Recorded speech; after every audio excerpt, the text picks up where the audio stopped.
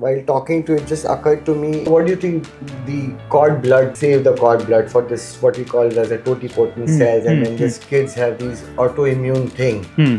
Does this help to have these totipotent cells? And they say that put it in the pancreas and it will start.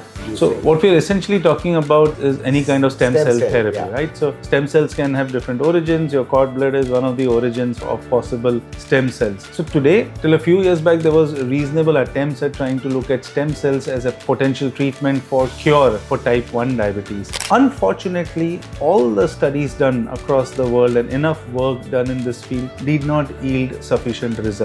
Let's also understand that whether it's stem cell therapy or any kind of transplant, then the anti stem cell rejection treatment itself has multiple side effects. Okay. So you haven't seen sufficient uptake, and they've tried everything right from using the entire islets to the more purified ones and trying to infuse that, and now looking at stem cells. So as of today, uh, it still continues to be an experimental work. And I say this because unfortunately, you may hear about somebody sitting here and there and offering stem cell therapy for cure for any kinds of diabetes. One should be wary. None of this is validated, approved, proven therapy so far.